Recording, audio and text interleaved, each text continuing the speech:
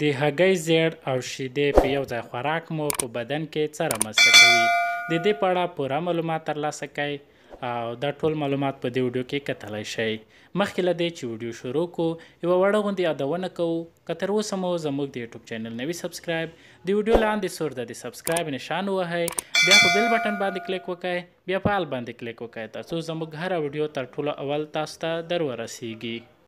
د هګۍ او شیدو مېکس به څه ډول جوړوئ؟ مخکې له دې چې د هګۍ او شیدو مېکس د جوړولو طریقه تاسو ته وښیم، د هګۍ او شیدو ځینې ګټې تاسو ته بیانوم.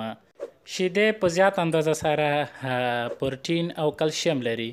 د نورمال وجود د دندو لپاره پروټین ضرورت دی. یعنې که چېرې د عضلاتو د جوړولو لپاره، د عضلاتو د قوي کېدلو لپاره، د بدن په بېلا بېلو برخو کې پروټین وظیفه تر سره کوي. همدا شان د دې په څنګ کې کلشیم په د هډوکو د قوي کېدو لپاره ضروري دی. دویم، هګۍ په زیات اندازې سره پروټین لري، ویټامینونه لري.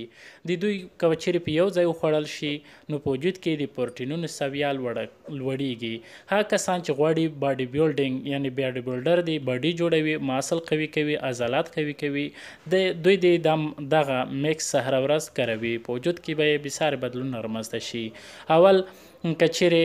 تاسو شیدې او هګۍ په یو ځای کروئ په داسې ډول یې وکروئ، د هګۍ څخه سپین وباسئ، کله مو چې د دې څخه دا سپینه برخه وایستله،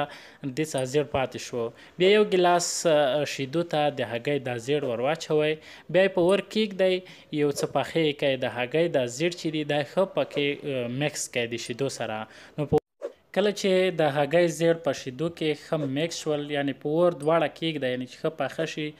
پکې ورک شي بیا هر سهار یو یو ګیلاس دا څښئ په وجود که به په وجود کې به مو بې سارې بدلونونه رامنځته شي نو دا د دې سره په څنګ کې د وجود نوره کمزورتیا هم له منځه وړي د بدن لپاره ډیر ضروري مخلوط دی هر په ورځ کې یو ځل دا کار تر سره کوئ